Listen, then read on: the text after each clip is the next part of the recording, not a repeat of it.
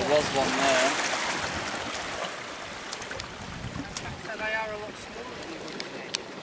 Yes.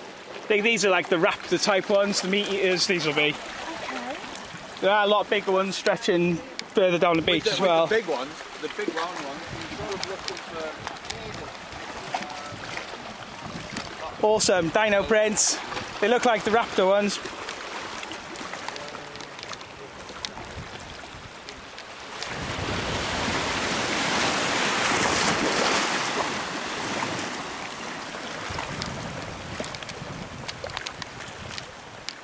Cool.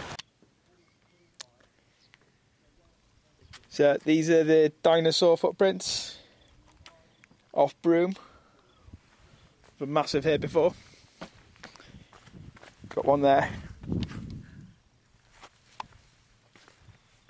Another one there. Heading in this direction. Pretty cool. Another big footprint there. Another one there. Heading out in that direction.